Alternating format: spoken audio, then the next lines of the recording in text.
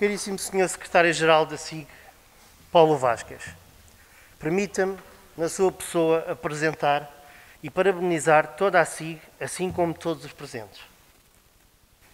Tenho que confessar que, como estreante nesta vida sindical, sinto-me honrado e muito agradecido, não só pela forma fraterna como fui recebido, mas também pela riqueza histórica e sindical de tudo o que aprendemos ontem sobre o galego Soto. Pela coragem da organização deste vosso oitavo congresso, neste momento tão difícil e tão incerto para todas as nossas organizações, por via da pandemia, e pelo aproveitamento que muitos fazem para atacar os trabalhadores e os seus direitos, assumimos este momento como uma enorme oportunidade de aprofundar os nossos laços de amizade e de solidariedade.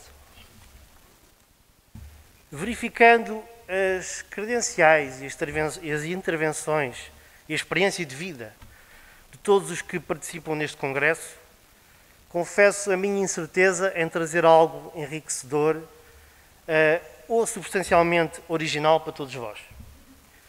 Tenho, contudo, uma certeza que é de esta ser uma reflexão necessária, atual e pertinente para o mundo laboral. Serão estes exemplos de luta, perseverança e do espírito crítico que temos presente que, eventualmente, e assim esperamos, possam trazer algo mais positivo para os trabalhadores que depositam em nós a confiança e esperança para um mundo melhor. Só como exemplo, não era para o referir, mas aproveito que é um, foi também um marco em Portugal.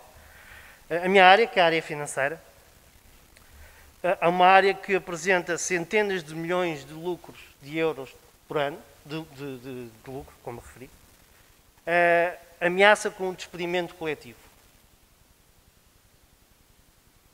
A primeira greve que há em Portugal em 33 anos ocorreu no passado dia 1 de outubro.